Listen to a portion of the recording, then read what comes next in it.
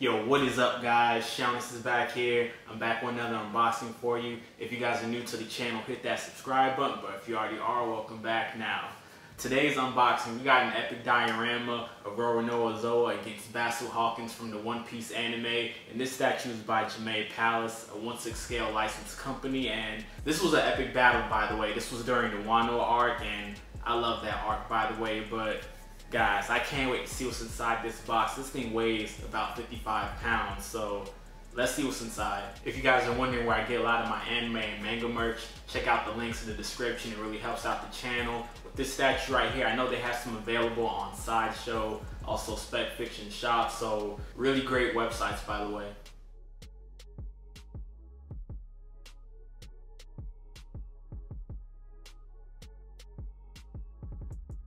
So we got the cement gray styrofoam box inside that looks like we got three layers and I like the lime green Velcro straps, but let's take a closer look. So you guys know I love when we activate glove mode right here. So we got gloves, we got the envelope with the certificate and we have the assembly instructions right here. We also got a little picture of how the statue is gonna look like. All right, let's open this thing. All right, YouTube. These are all the pieces we're about to put together and this is a lot. I'm assuming the base is right there. We see various red pieces.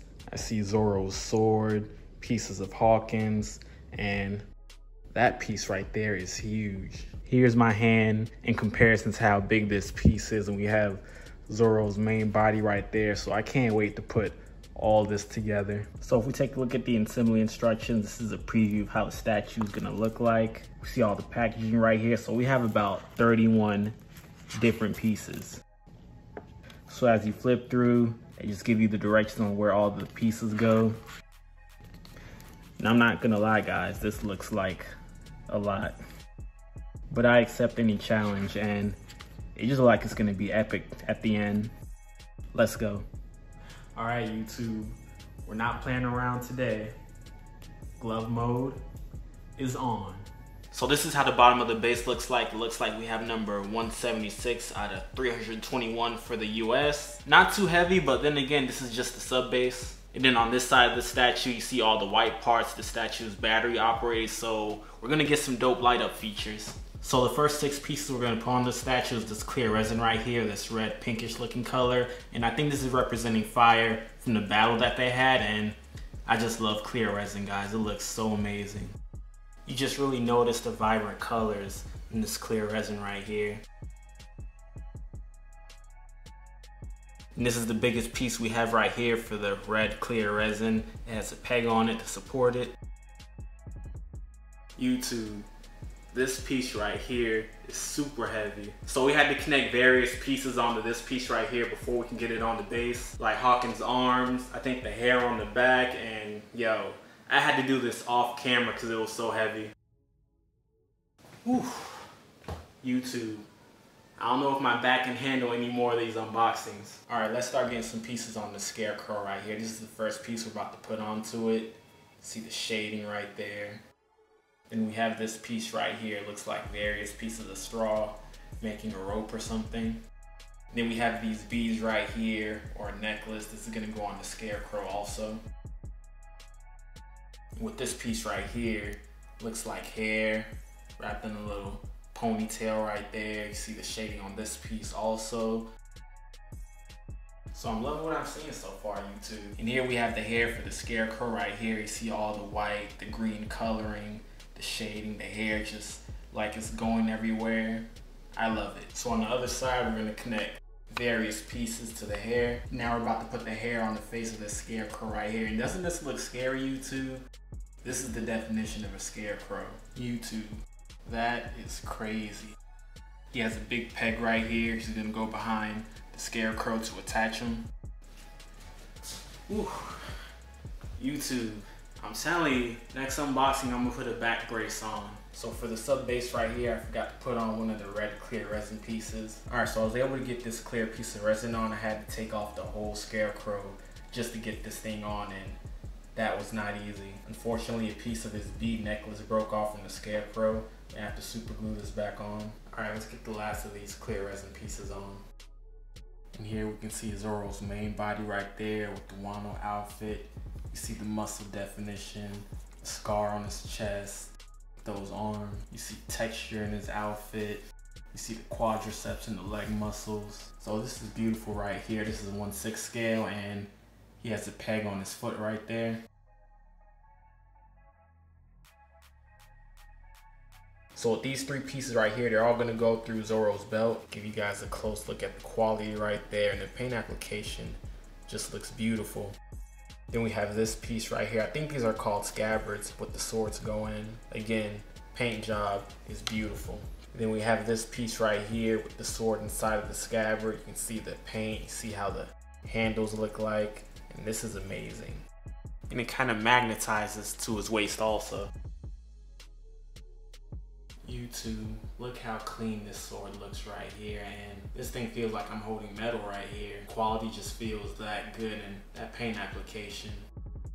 And then the next sword, this one right here might be my favorite. Check out the paint on the blade right there with the handle. Man, Jimei Palace. You guys can't tell me they don't make quality pieces right here.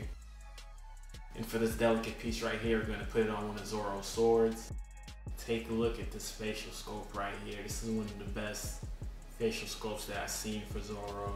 Just look at all the details on his face, the wrinkles in the middle, the scar going down his left eye, his facial expression. Man, even the hair looks beautiful. Got the earrings. This is how you do a facial sculpt for Zoro. And for the Scarecrow's hand, we have five different nail pieces right here. Gotta see the quality of that. Doesn't look cheap at all. You just gotta squeeze them in tight and they all just stay there in place. They're not moving.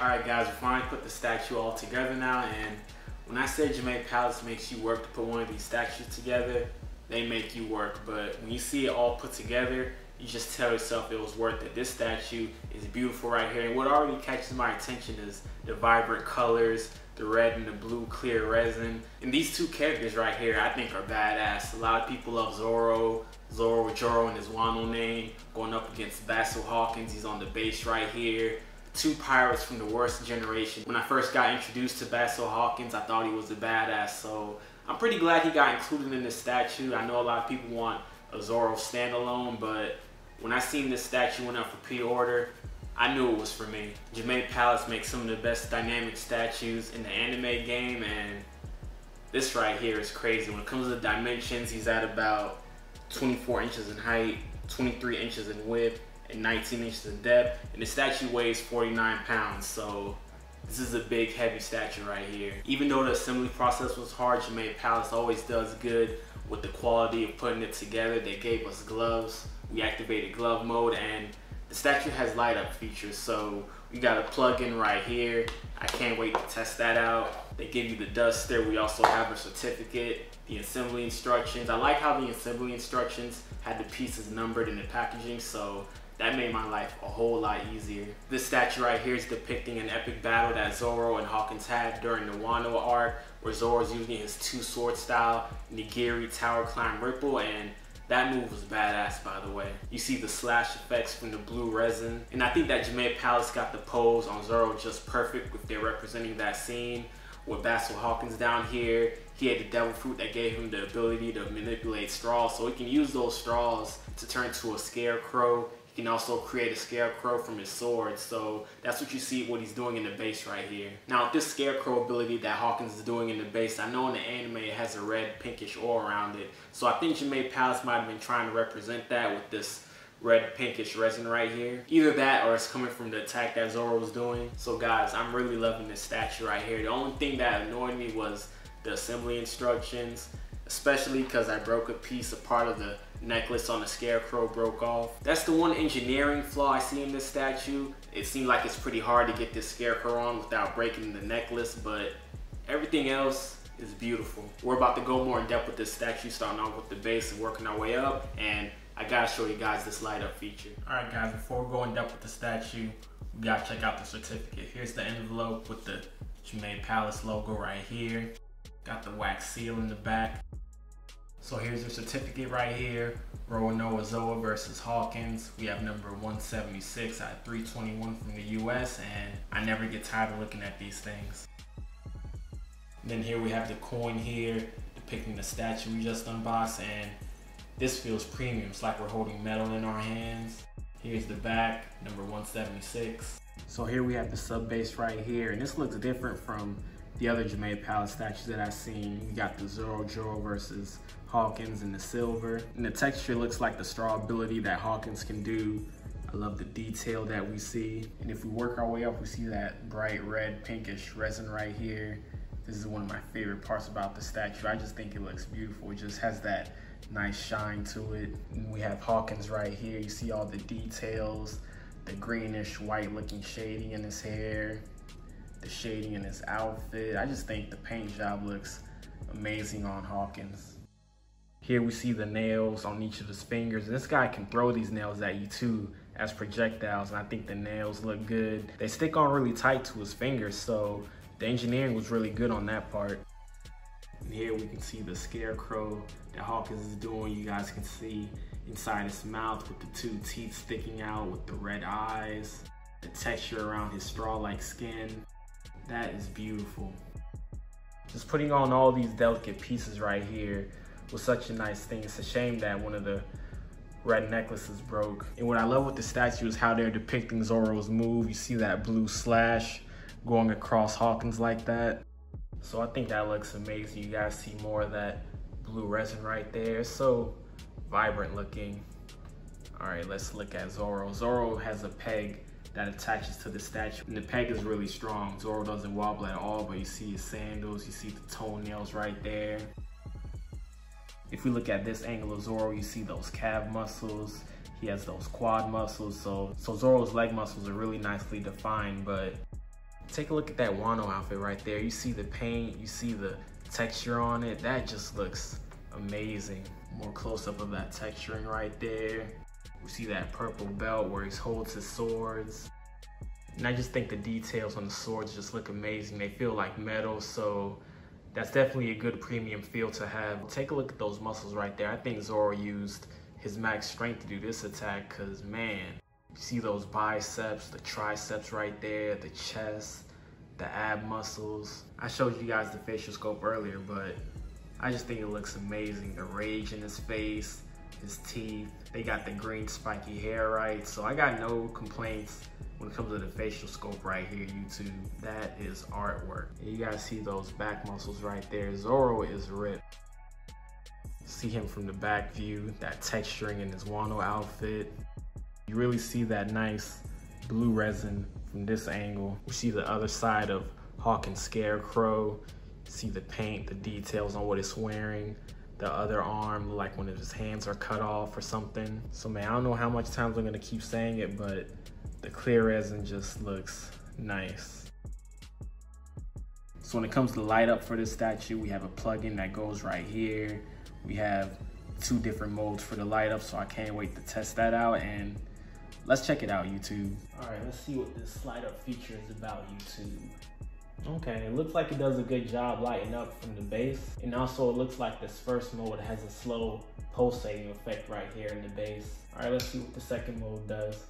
All right, so with the second mode here, it really starts to flicker on and off. You really see it in the blue slash resin that Zoro's doing right here. Overall, it looks like the light up doesn't stand out too much in the daytime, but let's turn off these lights. Here's a look up of how the statue looks like in the dark time. I do have them displayed right now. You guys get a better view of how that blue and red resin just light up. Now, one thing about this statue that I'm a little upset about, I know the eyes are supposed to light up on the scarecrow, so mine's can't light up for some reason. Pretty disappointed. And here's just to show you guys the flickering effect right here in the nighttime. And man, I just wish the eyes can light up on that scarecrow right there. That would have made the light up feature that much better. But overall, not too bad though when it comes to light up features. I have seen better, but this is pretty good. All right, guys, that was my unboxing of Zorojuro versus Basil Hawkins, a 1/6 scale licensed statue by Jimei Palace. And yo, I'm curious what you guys think about this statue. I think it's sick, but I want to thank you guys for watching. Don't forget to comment, like, and subscribe. Peace.